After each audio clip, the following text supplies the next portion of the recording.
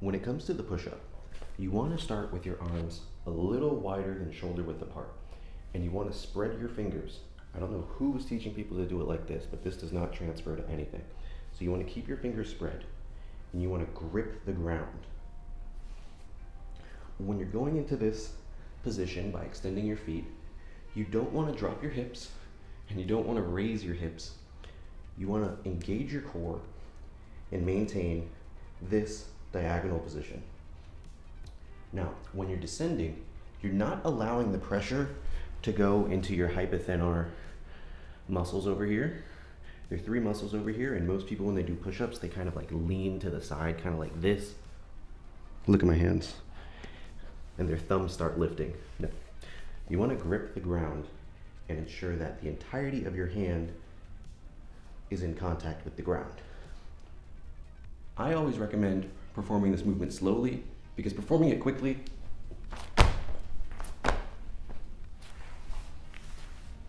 very easy, very easy.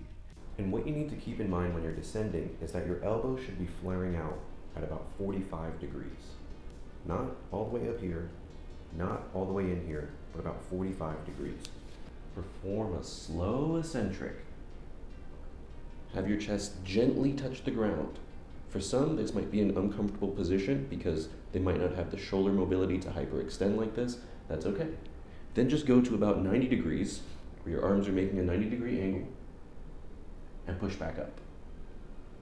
Another important cue is to either look at the ground slightly in front of you, say like two feet in front of you, or to just look ahead.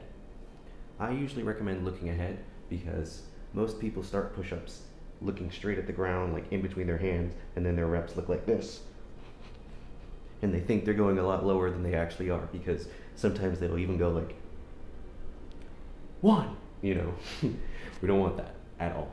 Now, when you are unable to continue doing push ups, like say you're only able to do three reps, and say this is rep number three.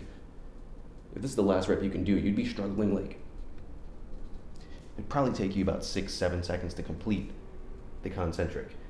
After that, you can regress the movement by straddling your legs and performing the movement.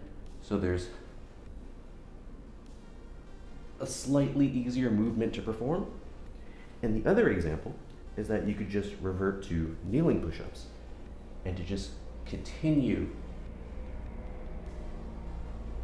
with that set until you're unable to even continue doing kneeling push ups. That's the goal. That's a full set. That's reaching failure. And that's exactly what we want.